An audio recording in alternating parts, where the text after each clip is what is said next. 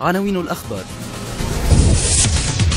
صدور العدد 110 من مجلة تونس العقارية.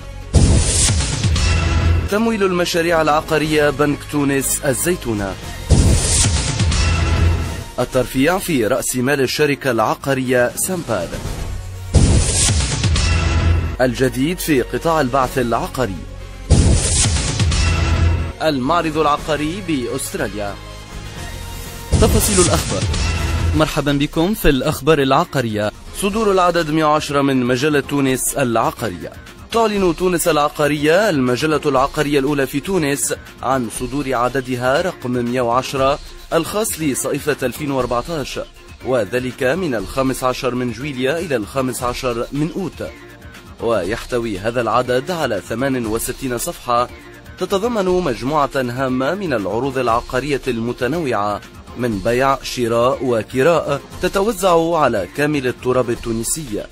كما توفر مجال تونس العقارية مجموعة من الخدمات العقارية التي يسهر على ضمنها العديد من الباعثين العقاريين والوكالة العقارية.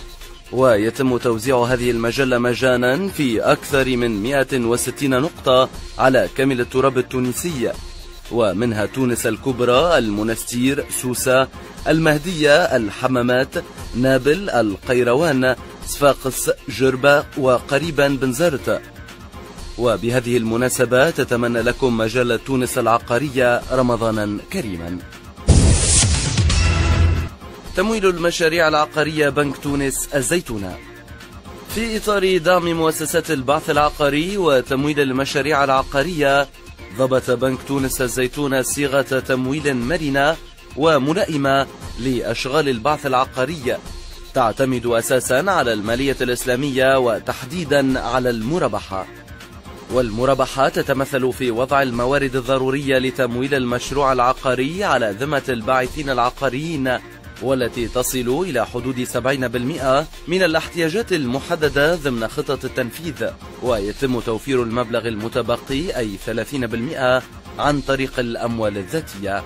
كما يتم تأمين سدد التمويل بواسطة منتوج عمليات البيع التي يتم توطينها لدى المصرف في حدود حجم التمويل الذي أسنده مصرف الزيتونة وتتيح إمكانية الإمهال الفترة الضرورية لإنجاز المشروع ووضعه للبيع.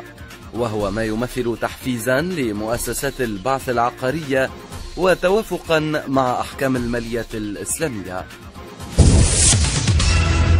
الترفيع في رأس مال الشركة العقارية سامبار قررت الشركة العقارية سامبار في انعقاد جلستها العامة الخارقة للعادة المنعقدة في السبع والعشرين من جوان 2014 قررت الزيادة في رأس مال الشركة من مليون دينار إلى 5.5 مليون دينار وذلك من خلال إدماج جزء من المدخرات الاحتياطية غير العادية وإحالة أسهم جديدة قدرت ب 200 ألف سهم.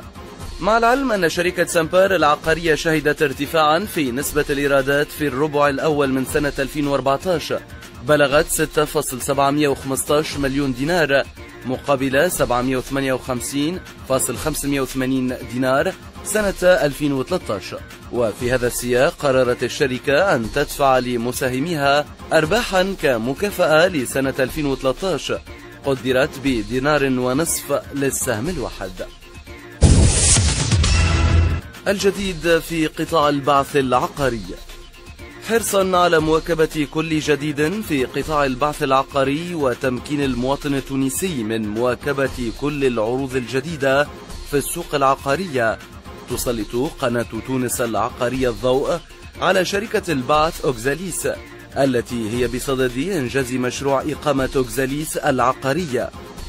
وتتميز هذه الإقامة ذات الطابع السكني بموقعها الاستراتيجي لفاغ الكائن بتقسيم جيم نابل قطعة عدد 67 وتحتوي هذه الإقامة على شقق فخرة من الطراز الرفيع تنفتح على مساحات خضراء شاسعة تتوسطها مسابح للكبار والصغار.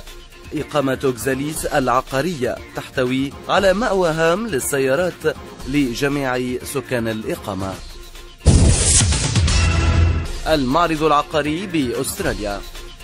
تنطلق من التاسع والعشرين إلى الحادي وثلاثين من أوت من سنة 2014 فعاليات الصالون العقاري بأستراليا في ثلاث أكبر مدن أسترالية وهي بيرث، سيدني وملبورن حيث يقام هذا المعرض مرة كل سنة ويستقطب العديد من رجال الأعمال والباعثين العقاريين بهدف تطوير العلاقة بينهم في مجال الاستثمار العقاري إلى جانب التعرف على أحدث تقنيات البناء في المجال العقاري وأضخم المشاريع العقارية المزمع إنشاؤها نهاية الأخبار العقارية إلى اللقاء.